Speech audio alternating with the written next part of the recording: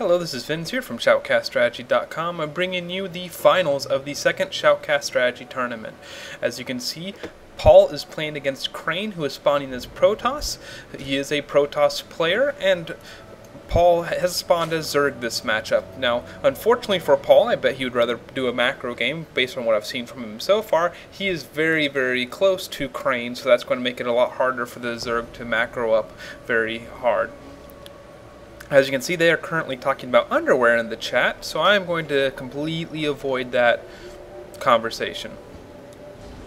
Anyways, this is also a best of three matchup. For starting map up is the starting map is obviously Metalopolis, and Khrane doing the smart thing and starting his wall off since he doesn't know what race Paul is.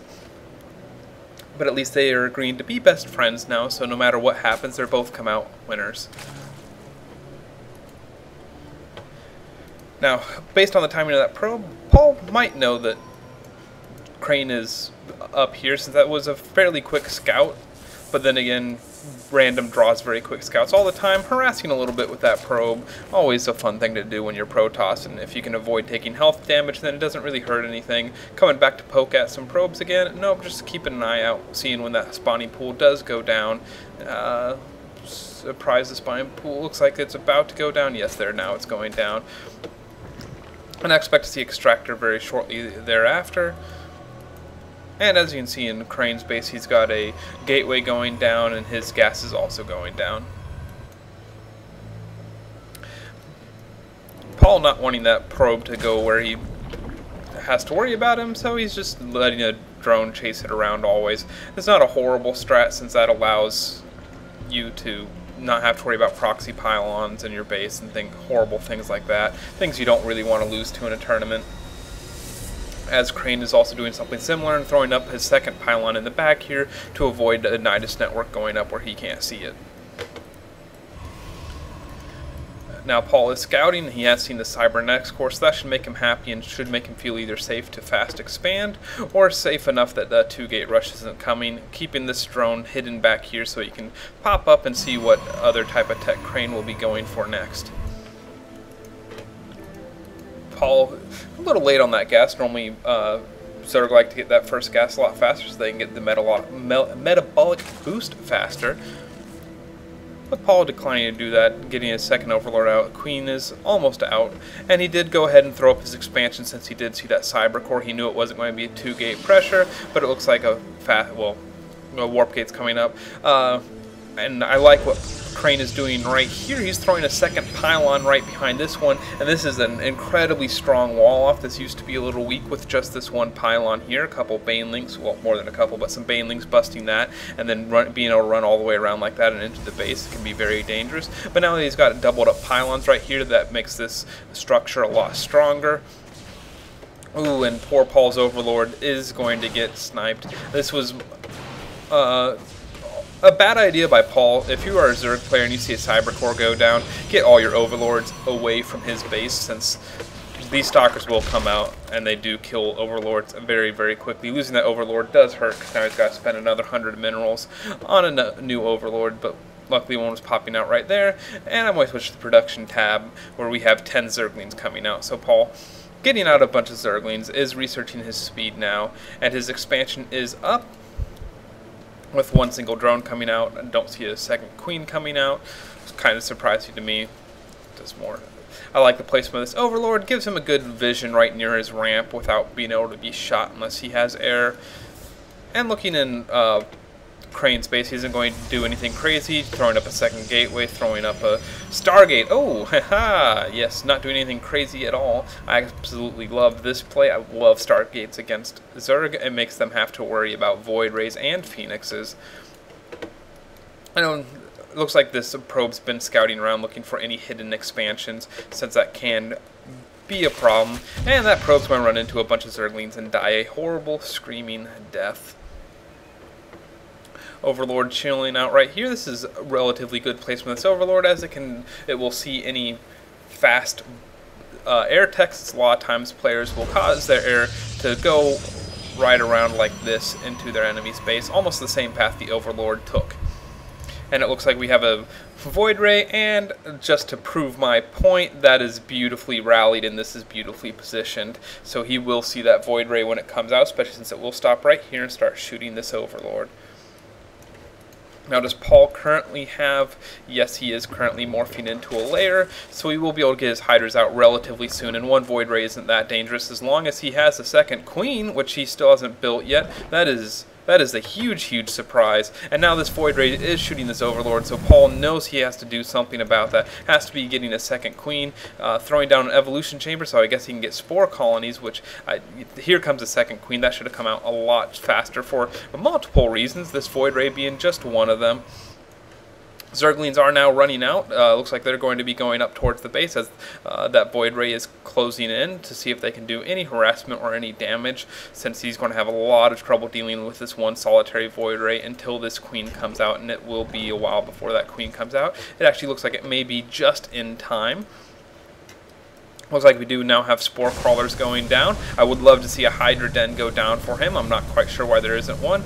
And the Queen is going to come over here, but that Void Ray is charged, and that Queen is going to die very, very quickly. Needs to run the Queen away so it doesn't die in a horrible screaming agony of blood explosion death, but it does. Luckily, the charge is lost, otherwise he could have taken out that Spore Crawler, started taking out the Roach Horn and things like that. Here comes the second Queen, but and this queen should be able to uh, repel this Void Ray because it does get charged. However, mm, little scared. Second Void Ray coming in to the uh, expansion should be targeting Overlords or the hatchery itself. I really can't believe the Hydra Den didn't go up a lot sooner. That would have been key. Once Hydras come out, Void Rays die very quickly to Hydras. That Spore Crawler uh, forcing that Void Ray away. This Void Ray looks like it might find this Overlord back here. Not quite. Then this it looks like the expansion will fall. Uh, I, one Hydralisk currently being produced. There are two Queens, so these two Queens could come down and might be able to save this. Yes, that they are saving his expansion, which is very nice. And there are Spore Crawlers back here, so the Void Ray will not be able to do anything back there. Meanwhile, while all this has been happening, Khrane has been setting up his natural, which is a very smart idea. While you're pushing out, distracting your enemy, throw up your own expansion. It's a very good timing on that. Nice transfer immediately of his probe, so he gets lots of good income, and hiding his Void Ray in the back here.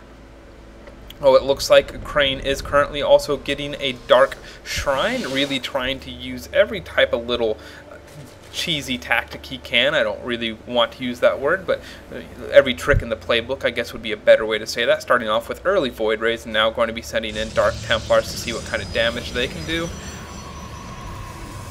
Having one cannon in the front of his base, which almost seems excessive, but it might help deter any type of uh, Zergling run by or anything like that. I absolutely love this huge strong wall in at his ramp.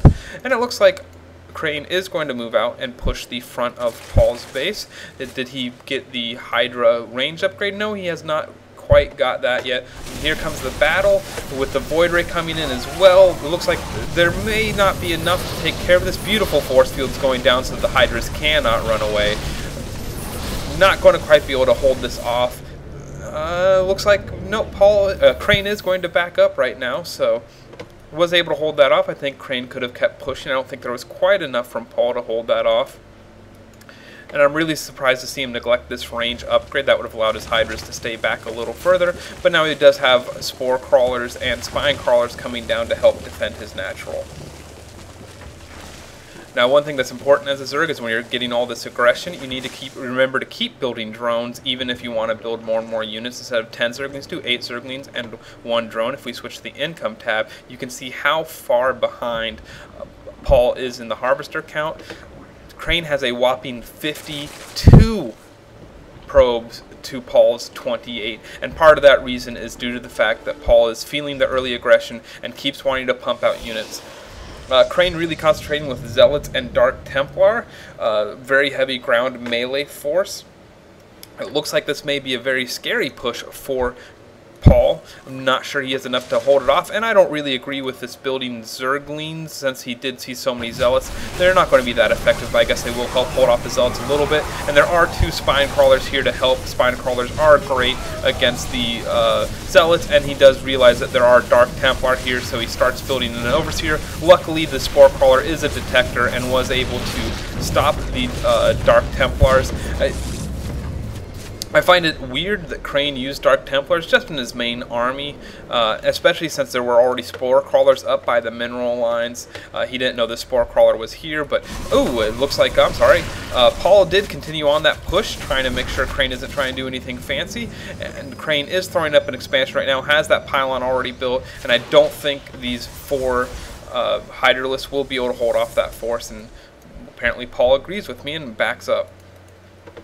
Uh, this queen is low on the energy, so that's good. It means it's been using its uh, charge on something, and that one's not doing too bad either, so doing a fairly good job of spitting larva. However, uh, Khrane is about to take his third base, and this would be absolutely devastating once this goes up and the transfer goes down, since Paul's been behind in the income this entire game, and if he gets further behind in the income, he'll stand absolutely no chance. Uh, is getting the upgrades for his Hydralisk, which is good. They're already at one armor, and he did get the range upgrades, which I which I think is absolutely huge to help deal with it. And throwing down another spine crawler to help with the any incoming push. I would still like to see roaches come out. He does have a lot of gas, so that shouldn't be a consideration. Instead of building these zerglings, I'd rather see roaches, especially since roaches and hydras upgrades uh, are beneficial to each other. I'm not sure if he uh, he is building a second Evo chamber, so he can start doing double upgrades.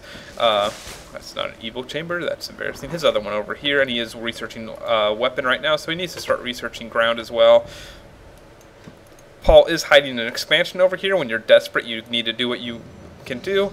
And he's going to see the cannons here and turn around immediately or fight anyways. Um, this is... Ooh, High Templar out. Those Hydralisks are going to die so fast. Absolutely melt to those uh, psionic storms. And the Zealots just to finish it off. I, I don't agree with attacking with those photon cannons here, and I really would have loved to see more roaches come out from Paul. He, he It's not like he's low on gas and has to manage it. I think he's building way too many Zerglings. Now he's getting a bunch of roaches out, uh, and he is getting the... Speed upgrade, which should have also been done a long time ago, but uh, hindsight's, you know, 2020 type thing. And it looks like Paul did get away with hiding this. I do not think that Khrane saw it. Yes, so very nice hidden expansion from Paul if this gets up and running. Could bring him back into the game, but this force is starting to look really, really scary. Uh, he is at 117 food while Paul is at a measly 79. So it's just a matter of time before Khrane decides to end this game. Khrane is also doing a very good job with his upgrade. He is currently researching uh, Weapon 2 upgrade on his uh, army. And with the Observer, he is able to kill these creep tumors as well. That is always a helpful thing to help stop the spread of creep, which is very helpful for the Zerg player. And trying to stay back as much as he can. Um, I don't think there's quite enough roaches uh, here to make a difference, and the Psi Storms do go down. They don't do amazing against roaches, but they do help, and they're just just too many units from Khrane. Uh, uh, army composition was finally right for Paul, but there's just way too much stuff here. Too many High Templar, too many Zealots, too many Stalkers. Just the food uh, was too much to overcome. Now transforming uh, into an Archon. I believe Paul will GG here in just a minute, so I don't see that there's anything he could possibly do right now. Uh, just a little too many Zerglings. He is pulling all the drones off the line, though, so really trying to make something happen, but these Zealots will just slice and dice these drones so fast. This Archon looks like it will go down, so at least he does kill an Archon, and I guess that's what he was shooting for, because now he GG's. So our victor from the last Shoutcast Strategy tournament is going down 0-1 against a very strong Protoss player. Uh, Khrane did a very good job expanding uh, is high on the money in gas because he is on three bases. Uh, it looks like he is taking the gold right now as well as he's pushing out just to make sure. So very, very good things from Khrane. Very solid play from him. Um, I think Paul went way too heavy on the Zerglings with how heavy Khrane went on the Chargelots. I really would have liked to see more Roaches, more Hydralisks. It's a very, very strong combination of units uh, that I've really had been having a lot of success with in my Zerg versus Protoss. So stay tuned for the next game. I hope you enjoyed watching this one. Uh, thanks for watching.